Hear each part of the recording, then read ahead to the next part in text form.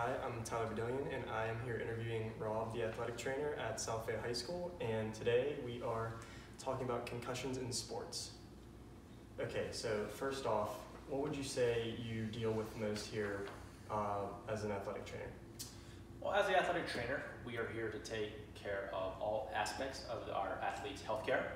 So that includes the prevention of injuries, the evaluation of injuries, the treatment of injuries, and the rehabilitation of injuries. So we're really here for them to help them anytime an injury occurs, help them through the injury process, help them to recover from that, and to help them to return to the playing field. Okay.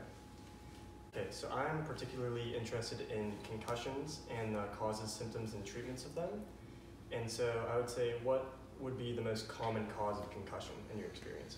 Uh, the most common cause is a direct blow to the head. Uh, that can happen in a variety of ways. Uh, not only of our contact sports, such as football, uh, there can be head-to-head contact.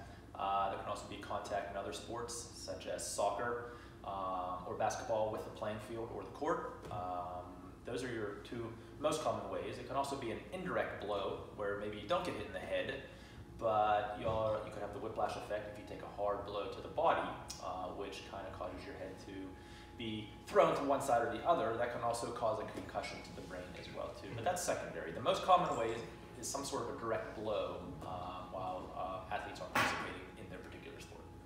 Okay, and would you, do you remember any time where you witnessed uh, an athlete sustain a concussion here at South Bend? Uh, yes, we've had several concussions. We have, uh, it's one of, become one of our more common injuries, um, especially with our football teams, soccer teams, basketball teams. We have had multiple concussions each and every year. Um, and we've become a lot better with the care on that. Uh, things have changed a lot throughout the years, and there's specific protocols that we now follow. Uh, and as I said, it's a very common injury and something we deal with quite a bit.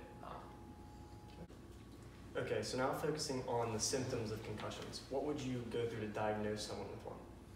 Well, there's multiple symptoms. There's not where one specific thing you're looking for. It, it, it's usually a combination of things. Some of the most common types of um, concussion symptoms are a headache, dizziness, confusion, balance problems, visual problems, um, sensitivity to light.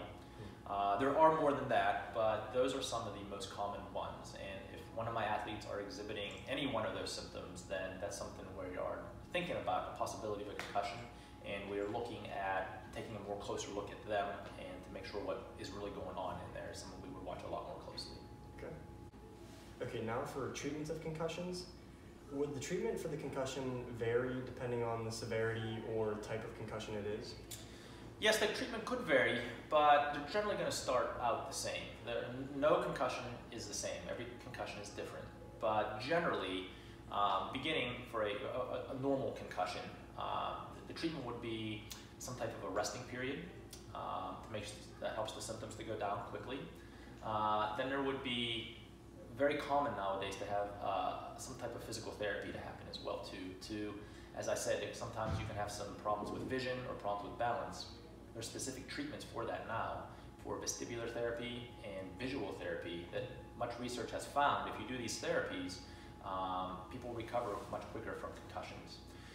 That said, those are for your normal concussions. Um, also, sometimes if there is a more severe concussion, if the symptoms are lingering even longer, there are different types of drug therapies um, that do occur as well too. So that is something that someone with a more um, severe concussion might have.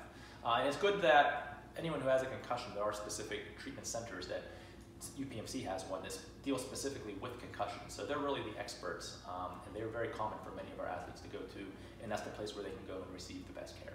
Okay. Okay, and finally, what steps would you recommend an athlete take to lower the chance of sustaining a concussion? Well, there's several things athletes can do. I would say first and foremost, make sure you're wearing the proper protective equipment. Uh, protective equipment has come a long way. The technology um, does a, a, much better job of reducing the likelihood of concussions. It will never eliminate the possibility of a concussion, just kind of the way um, our anatomy is and the way the brain sits inside the skull. But proper equipment will reduce the likelihood of a concussion.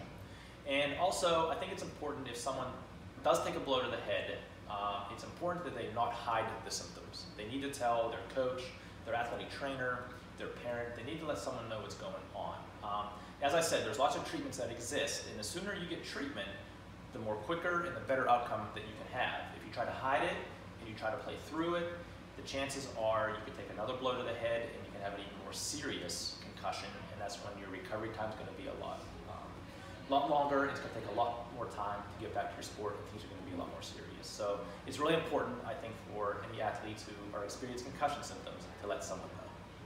Thank you for your time. My pleasure.